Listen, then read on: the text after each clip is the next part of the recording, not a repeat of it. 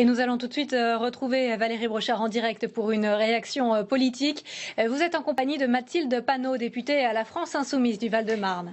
Exactement, Marion, membre de la France Insoumise, également membre de la Commission du développement durable et de l'aménagement du territoire. Madame Panot, d'après Nicolas Hulot, réduire la part du nucléaire d'ici 2025, c'est impossible. Est-ce que vous le croyez? C'est vraiment inenvisageable? C'est vraiment impossible?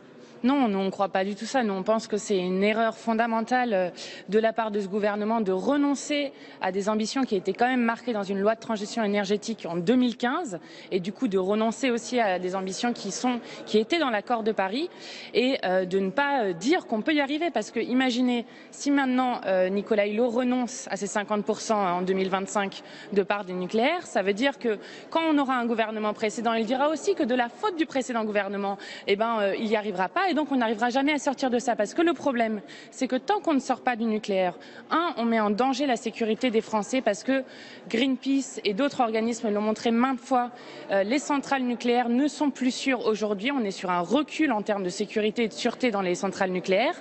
Et puis c'est tout de l'argent investi qu'on n'investit pas dans les énergies renouvelables. Et donc, eh ben, on, on arrive à un moment où quand c'est urgent pour le climat, un rapport de l'ONU vient de montrer qu'on va qu'on est probablement sur une tendance à 3 degrés et demi alors que je rappelle qu'au-delà de 2 degrés, on ne sait pas ce qui va se passer parce que c'est cumulatif.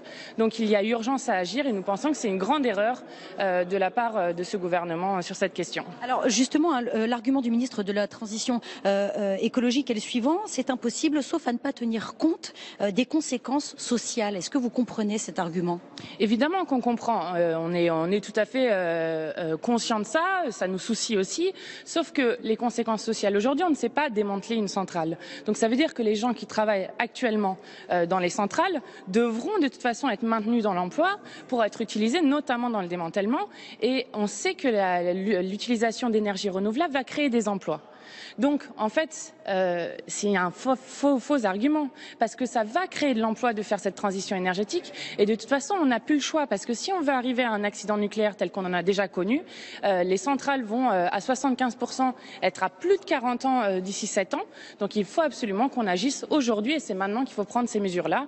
Et c'est comme ça qu'on prendra véritablement en compte les euh, mesures sociales, parce que sinon, on repousse, et puis à la fin, on est devant un mur. Merci beaucoup. Merci beaucoup, Mathilde Panot.